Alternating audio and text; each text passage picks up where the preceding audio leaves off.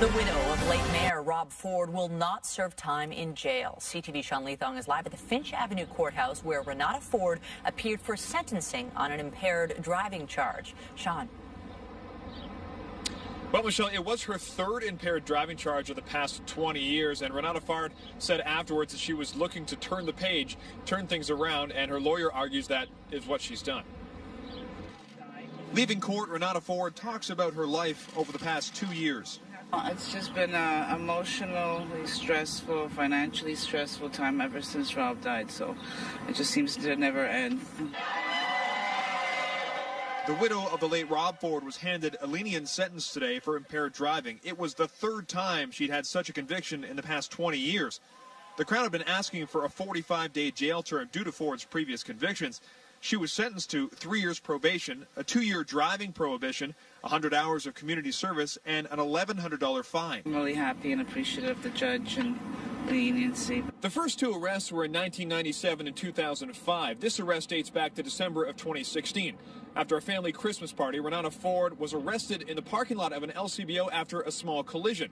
Upon the arrest, she gave two breath samples. Both were more than double the legal limit.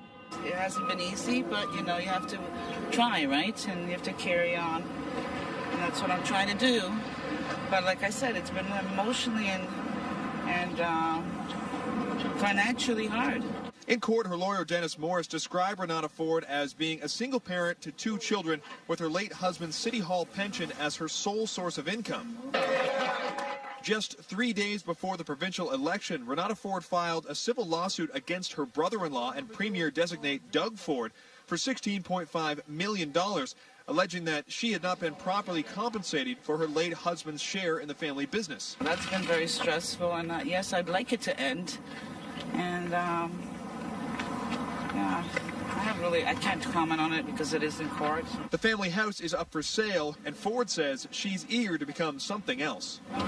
Change, I want to move. I want to change my house, change my environment around, maybe uh, start a new life again. She says that she's looking to leave Etobicoke with her family. And a lawyer says that she's been into treatment and counseling and that she's been without alcohol for over a year and a half. So she's hoping to just move on from what's happened in the past two years. Reporting live from outside court, I'm Sean Leathong. We'll send it back inside. Started back in, in 2016. How are you feeling here today? Well, it's just been an emotionally stressful, financially stressful time ever since Rob died. So it just seems to never end. Anyways, thank you. But some good news, news here today. today. It's, it's Yeah. Probation. Uh, they, they wanted you to serve jail time. Yeah, that's true. I'm, I'm really happy and appreciative of the judge and the leniency, but uh, yeah, it hasn't lawyer been easy. said that you might be you want to start a new life. Can you tell us a little bit about that? Yes, I would love to start, you know, fresh and, you know, with the help of uh, the counselor and, you know, I want to move on. It's time to move on with my children, start a new life. You've been working very hard at it. Yes, I have. It's been What do you think hard. of Doug as premier? Yeah. Anyways, well, I want to change. I want to move. I want to change my house, change my environment around. Maybe uh, start a new life again. Yeah. For me and my kids.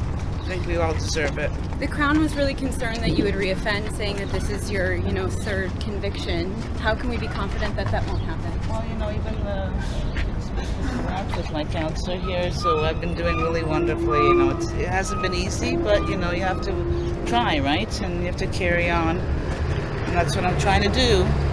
But like I said, it's been emotionally and and uh, financially hard, and it, it doesn't seem to be getting better in some respects. Speaking of that financial hardship, Yeah. I know that all of this recently came to light with your lawsuit against Doug.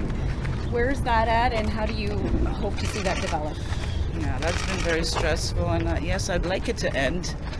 And um, yeah, I have really, I can't comment on it because it is in court. And I know Doug's team has kind of said they believe someone has put you up to that. I don't have a comment on that.